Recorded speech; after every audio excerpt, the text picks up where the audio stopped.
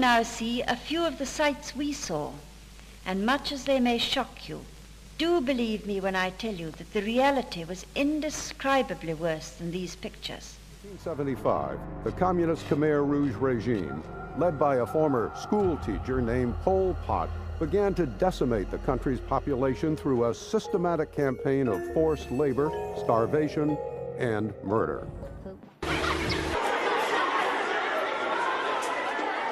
Momci, pravac, bratunac, sneva!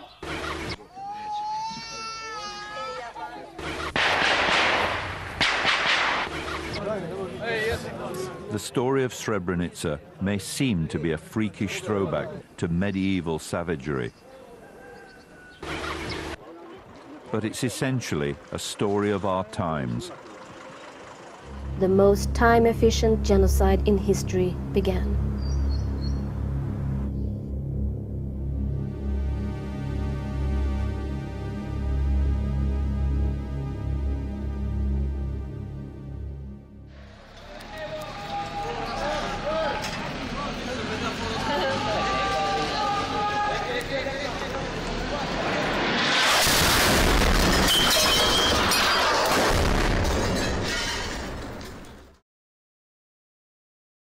Genocide. Crimes against humanity. War crimes.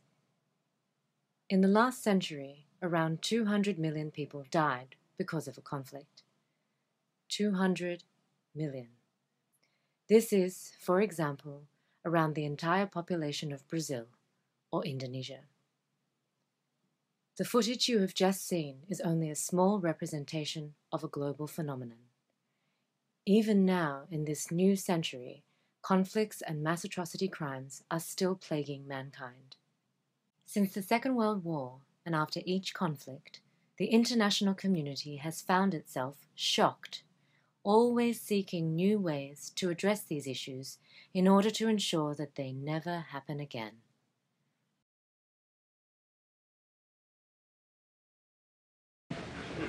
Is it possible they do not realize that we shall never cease to persevere against them until they have been taught a lesson which they and the world will never forget.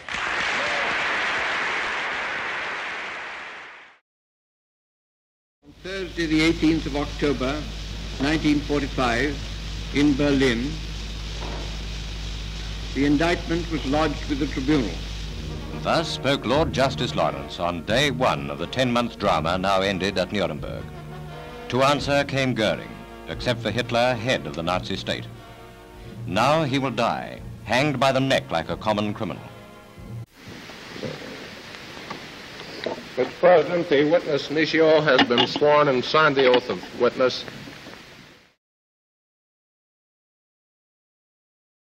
Today we begin to cleanse the hatred that has torn apart the former Yugoslavia.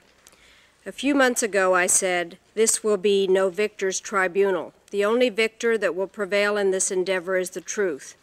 Truth is the cornerstone of the rule of law, and it will point towards individuals, not peoples, as perpetrators of war crimes.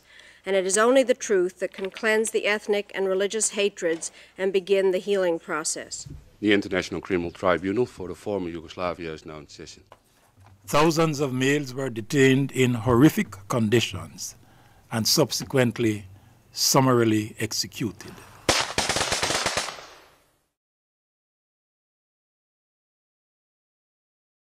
Proposing a resolution to establish a tribunal which could lead to the trial and punishment of those individuals who were responsible for the genocide. The magnitude of the crimes could not go unpunished. Between a half and one million people may have been slain in Rwanda in little over three months. La Chambre d'appel siégeante en audience publique rejette à l'unanimité chacun des motifs d'appel présentés par Jean-Paul Akayesu. Confirme la culpabilité de Jean-Paul Akayesu sur l'ensemble des chefs d'accusation retenus contre lui et confirme la condamnation à l'emprisonnement à vie prononcée.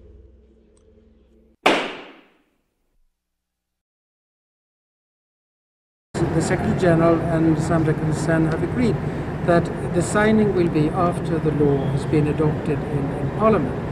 but we have to see to it that all the paperwork is properly done uh, before I leave uh, this time. So this is all I have to say.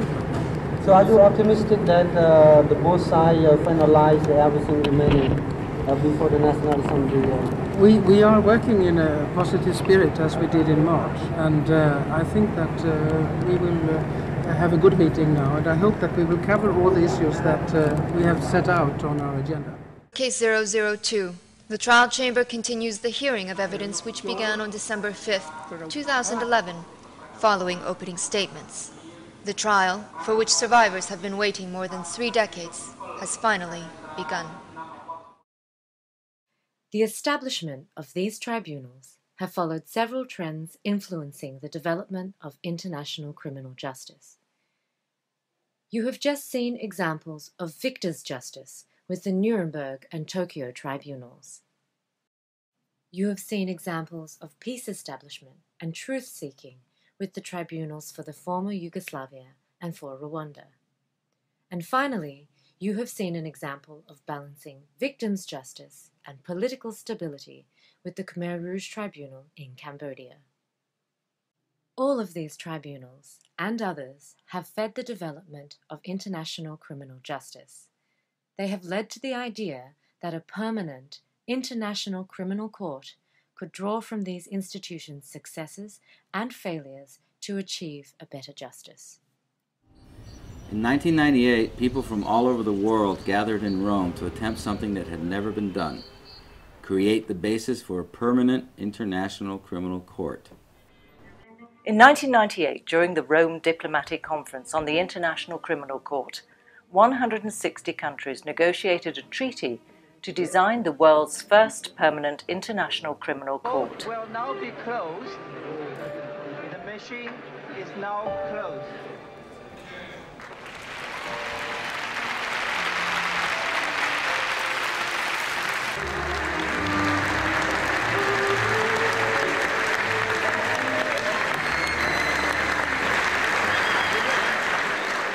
On the 17th of July 1998, after five weeks of intense negotiations, 120 nations voted in favour, and on July the 1st, 2002, the Rome Statute entered into force after ratification by 60 countries. The International Criminal Court represents hope. Hope that mass atrocity crimes will no longer be left unpunished. Hope that justice will eventually prevail. International criminal justice is becoming universal because more than hope, there is a need for the world to have one fair, effective, independent, and permanent criminal court, one that respects the highest standards and is dedicated to the fight against impunity.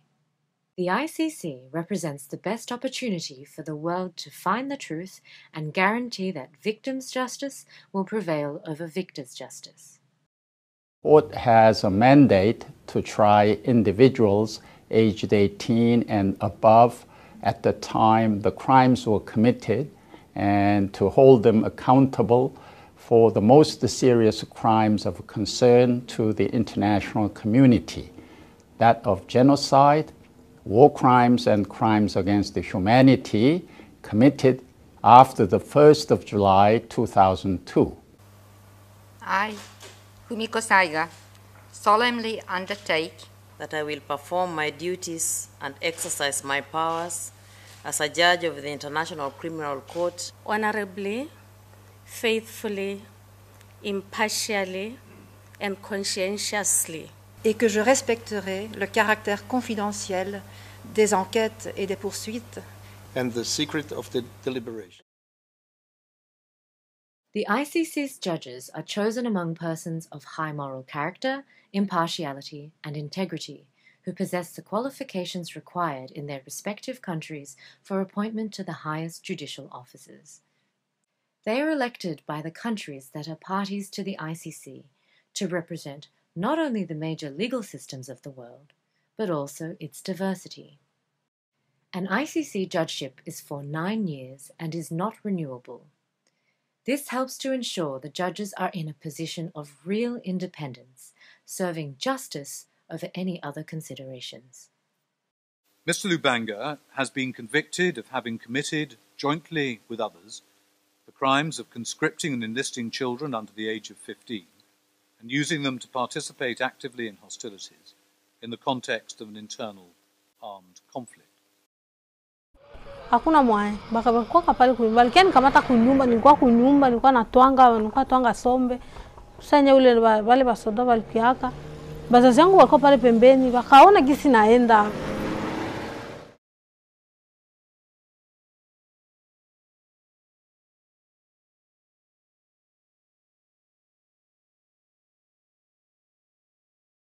Si nilikuwa kabado siaua mtu mbele kwanza kamata bunduki nilitetemekaka make nilikuwa kasavyo mwana tetemeka mbele kamata ile bunduki me Ewa, vitu ya mavyole bilikuwa kabisa, ile moya ni kweli, vitu ya mavyole bilikuwaka, tuliona vya mingi na sipendi naisha tu participate kusema.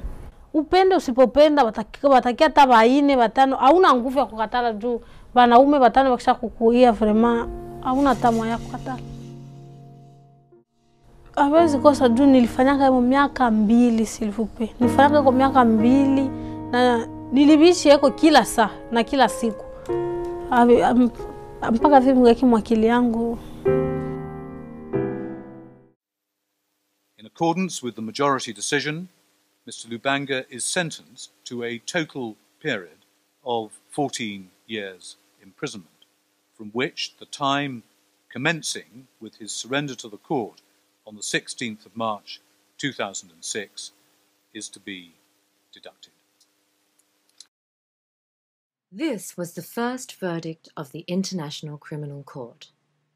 Congolese warlord Thomas Lubanga Dyilo was convicted for crimes against humanity and war crimes and sentenced to 14 years of imprisonment. He will not be the last person to face international justice.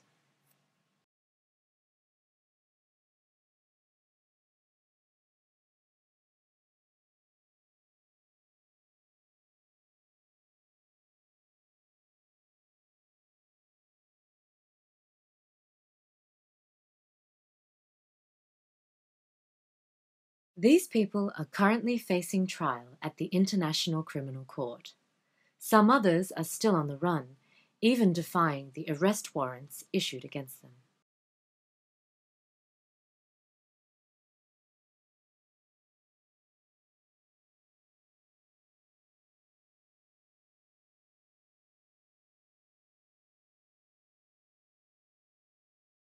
na ya mbie ki encore zo. Na ya ci kodro ni ape. Et na ya ci kodro timbi ti mungumba aku ape. Sans trafic en général.